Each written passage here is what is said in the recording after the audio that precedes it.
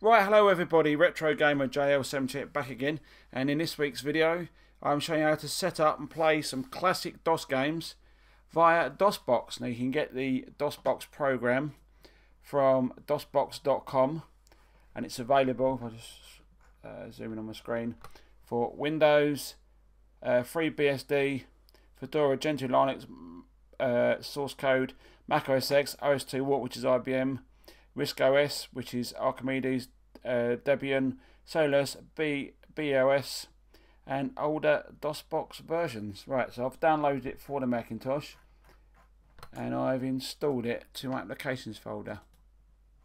So I've just went there and dragged that to there to install it. Now on my users folder, uh, I presume this would be same for Windows, it would be under your, your name, username, and Tango Mike 062 I've installed a folder called DOS. Now what I did was right click new folder and called it DOS. And there we go there's a DOS folder and there's my games that I've added. So Alley Cat Blood Doom Duke Nukem 3D Grand Theft Auto and Screamer. Now you can get uh, various different games from let's have a look at DOS games. This games mm. DOS Games. And you've got DOSGamesArchive.com, DOSGames.com. I'll link some of these in the descriptions below. And you can, they are DOS Games Archive. Loads and loads of games on here. And if all you do is you download the game. Once you've downloaded the game, so for example, I downloaded Grand Theft Auto. So downloads GTA. Well, GTA 8. Where was it? That one. I unzipped it and literally just dragged it to the folder, the DOS folder. And that's basically the game installed. Then you have to go through the usual install setup and whatever. So what I'll do, I'll load up DOSBox and we'll show you some of the classic games in action. Catch you in a sec. Right, the DOSBox is now set up and it says there set blaster A equals 220, D or I7, sorry, D1, H5, T6. Don't worry about that it's just telling DOSBox that it's going to emulate a Sound Blaster card. You don't have to put any of that in. It does it automatic, automatically for you. So what we need to do is mount that DOS folder as a virtual drive C. So I'm going to type in mount C space tilde space forward slash DOS. It says drive C is mounted as a local directory users stroke tango mike 062. So I go to drive C now and cd DOS, defective operating system. And we bring our directory up, and you can see there's the games we've added. So Alley Cat, Blood, Doom, Duke Nukem 3D, GTA, and Screamer. Now I've already gone in and installed all these games and um, configured all the sound and that sort of stuff. So we're just ready to go. So we do a CD Doom, and then Doom. We can play some classic Doom.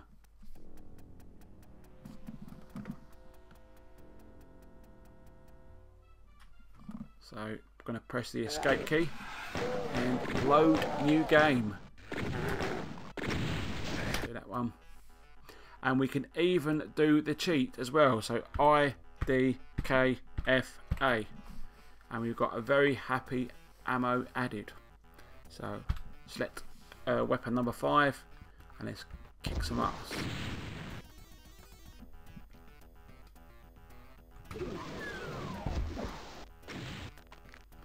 go, just killed him.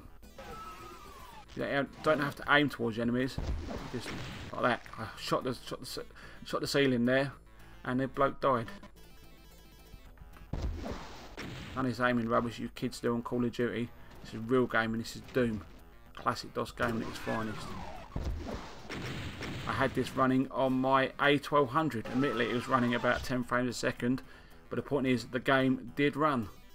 There's a new board coming out for the 1200 called a Vampire 2, which gives it a massive speed boost and 1 gig DDR3 RAM.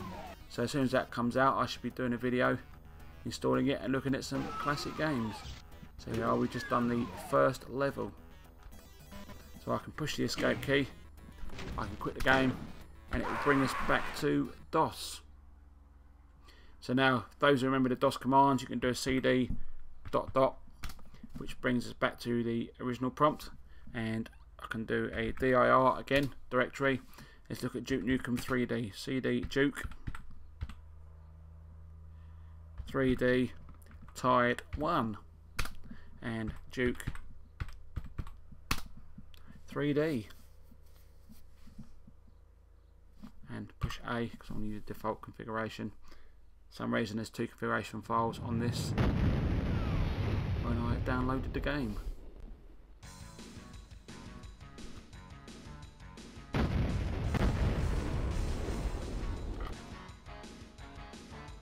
so new game LA Meltdown Let's, Let's rock. rock. Damn, those alien bastards are gonna pay for shooting up my ride. Yeah. And it says Alien Scum. On the 64 version, it's a shame Nintendo didn't want the swearing in their games for some reason. There we go. Up there. Up there again. Let's try again. Up there. Up there. Give it one more go. Up. Up again. Go, secret place. And we'll get the Come RPG. get. Yeah, let's rock. Let's change that back to weapon number two. Go through here, and there should be another secret place where we get some ammo for the RPG.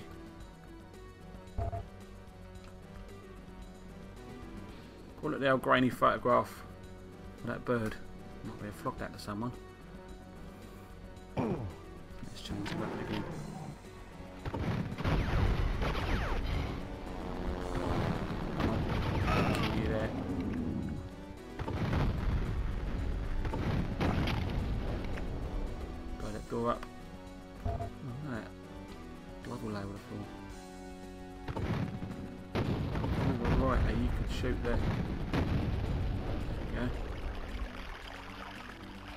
Push the.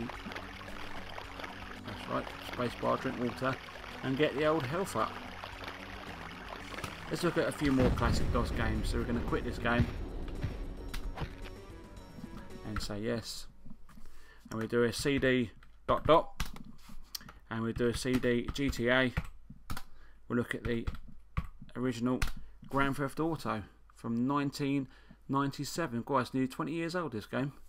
So run game. Again, I've configured all the sound sound on this.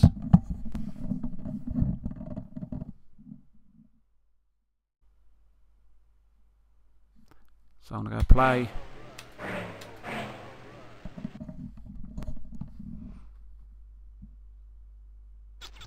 Cool, the old top down view around the door. So I'm gonna take the car. I'm gonna stick it on the railway line.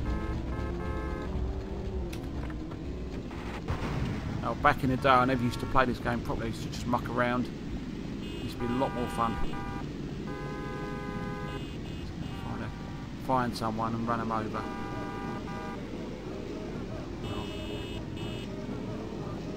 Run them over a van.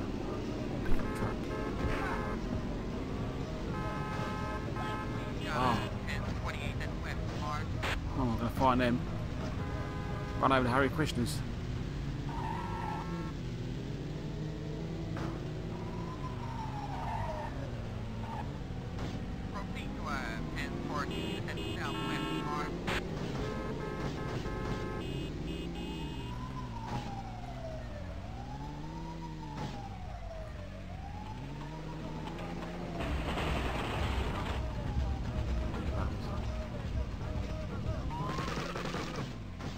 Oh, hit the wall.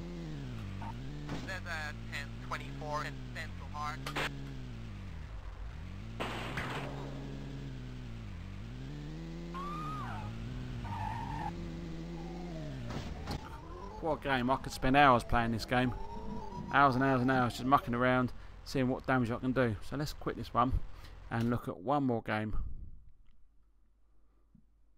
This game's even older, the one we're going to look at now. and this is from 1984 so we can do cd dot dot and cd alley cat and cat oh god listen to the sound look at the graphics. Right. Do I want a joystick? No. Now you kids don't know what joysticks are. You're still on this control pad rubbish. So I'm going to go that one. Look at it. It's all pink. CGA I'm not sure what you got to do actually on this game. Might have to, I thought I had to click the washing in but obviously I don't. Oh I got to click the, the cat the, the mice that are stationary